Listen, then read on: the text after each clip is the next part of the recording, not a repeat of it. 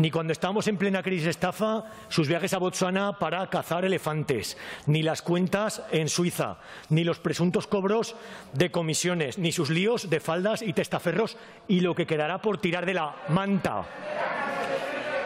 Mientras el Tribunal Supremo y la justicia suiza. A ver, un momentito, señor Escartín. Creo que hasta ahora todo el mundo ha escuchado a los que han intervenido, estando o no estando de acuerdo. Escuchémosle también.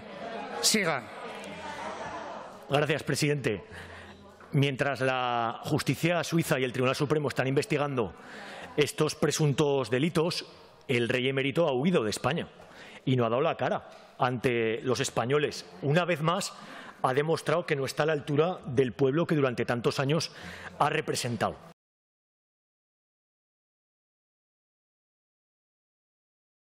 Finalizaré mi intervención con un ¡Viva el Rey! ¡Viva!